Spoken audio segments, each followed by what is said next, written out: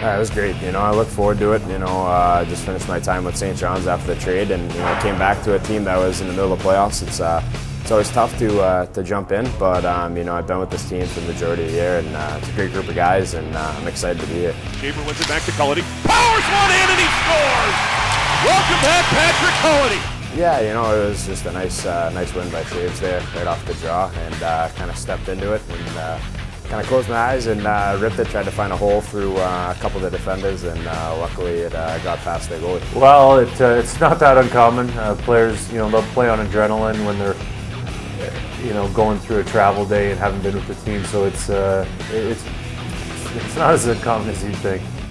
Representing the thousands of first responders who have worked selflessly through these two tragedies, the Boise Fire Department Honor Guard.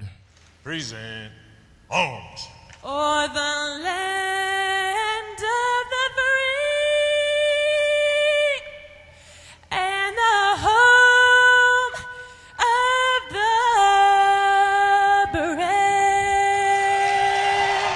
No, it's been great. You know, the support. You know, obviously I had friends and family that were in there for the marathon. Uh, luckily, you know, for them they weren't down near the scene, but um, you know, obviously, you know that city's you know pretty strong and resilient.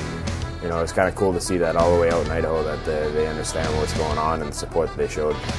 You'd like to think home, there's a big advantage on home ice, but at the end of the day, you just got to accumulate wins and, and manufacture um, goals here at this point for us. So, yeah, we're just focused on Friday. You know, take care of business Friday night, and then we'll regroup for Saturday.